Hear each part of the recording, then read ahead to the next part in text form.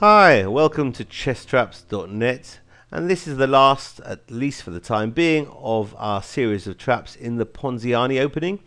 And now we're going to look at two traps which have been amalgamated into one video clip and they're both attributed to the great commentator Irving Chernev, a really prolific writer. So after e4, e5, knight f3, knight c6, c3, Black's very aggressive defense of the Ponziani d5, after which queen a4, black takes the pawn on e4, and knight takes e5. White wanting to take now the knight on c6. So queen d5 does three things. It defends the knight on c6, it defends the pawn on e4, and it attacks the white knight on e5. So white's most aggressive continuation is bishop b5, again threatening the knight on c6.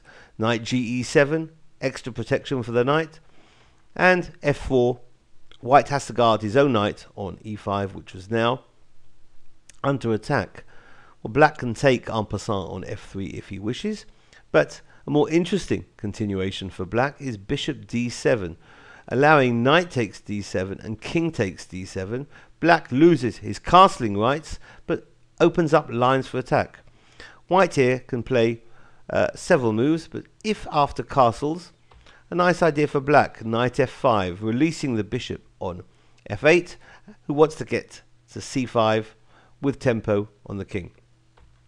So b4 presents, uh, prevents bishop to c5, but a5, a lovely trappy move for black. If, uh, well, what black is threatening to do now is a takes b4, queen takes a8, and then bishop checks on c5, and the h8 rook will pick up the queen. So, white, prophylactica, moves the king to h8. However, after a takes b4, black gives up his rook. Queen takes rook on a8, but bishop c5 without check. Now the h8 rook is threatening the queen. Queen takes h8, and black wins anyway now because knight g3 check.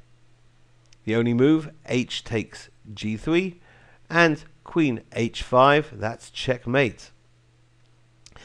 Going back to the other trap now in this variation is after king takes d7, we looked at white castling, but white can also try knight a3, bringing his knight onto the only available square. A trappy move for black, rook d8. Now the a7 pawn is offered. If white takes it, well obviously the knight on c6 is pinned and can't capture the queen on a7. However, queen takes the bishop on b5, and after knight takes, knight takes a7, knight takes a7, c6 is going to trap that knight who's all dressed up and nowhere to go. Can white save the knight? Well, not really. He can try d3. And um, here, rook a8 will pick up the knight.